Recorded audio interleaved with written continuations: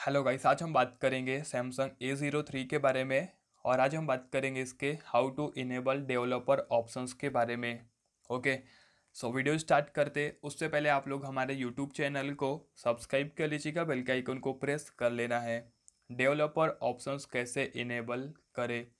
काफ़ी वीडियोस में हमने इस वीडियो को रिकमेंड किया है, क्योंकि काफ़ी सारे ऐसे फीचर्स है जिसमें हमें डेवलपर ऑप्शंस की मदद लेना पड़ता है क्योंकि काफ़ी सारे ऐसे फीचर्स रहते हैं जो कि डेवलपर ऑप्शंस में ही हमें देखने को मिलते हैं। डेवलपर ऑप्शंस कोई भी फ़ोनों में आप लोग को ऑटोमेटिक नहीं दिखेगा, आप लोग को मैनुअल तरीके से इनेबल करना पड़ता है। ओके तो इसके लिए हम क्या करेंगे? First of all settings open करेंगे। उसके बाद हम क्लिक करेंगे, थोड़ा सा स्क्रॉल करेंगे और अपने फ़ोन के अबाउट फ़ोन पे क्लिक करेंगे।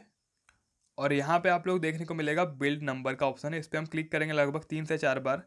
तीन से चार बार टाइप करने के बाद यहाँ पे लिखा हुआ आता है no need you are already a developer क्योंकि हमने अपने फ़ोन में ऑलरेडी डेवलपर ऑप्शंस को इनेबल कर लिया है ओके तो आप लोग सिंपली बिल्ड नंबर पे क्लिक करेंगे तो आप लोग के फ़ोन में देखिए एकदम स्क्रॉल करेंगे, एकदम बॉटम में डेवलपर ऑप्शन शो करेगा और यहाँ से आप लोग देख पाएँगे कि भाई डेवलपर ऑप्शन जो यहाँ पे इनेबल हो चुका है।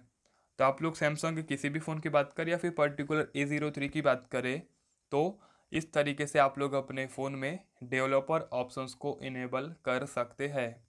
ओके, सो टॉपिक यहाँ पे कवर होता है। मिलते हैं नेक्स्ट वीडियो में। जय माता दी।